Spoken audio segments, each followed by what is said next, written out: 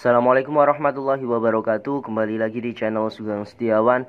Di video kali ini kita akan coba bahas Bagaimana cara mengecek kecepatan internet di Android.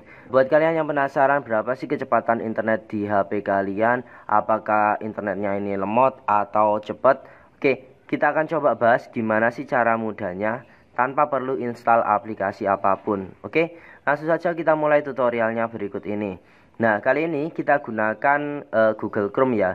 Tinggal kita klik seperti ini.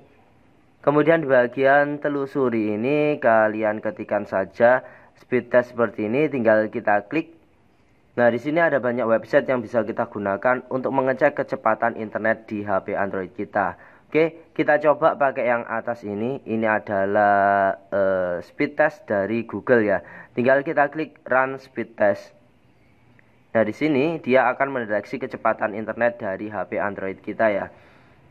Uh, yang pertama di tes ini adalah kecepatan download, kemudian yang kedua yaitu kecepatan uploadnya.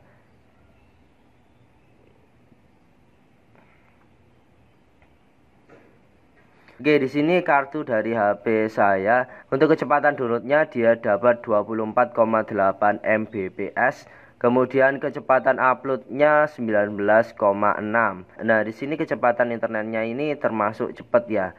Oke, kita coba pakai website yang lain apakah hasilnya sama.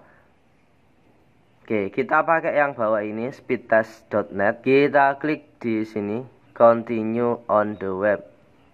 Nah, caranya hampir sama, tinggal kita klik tombol go seperti ini dia akan mendeteksi kecepatan internet dari HP Android kita.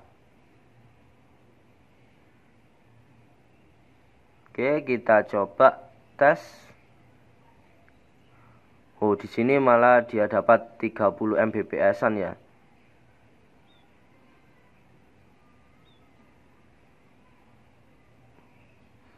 Ini sama eh, kecepatan downloadnya dulu yang dites.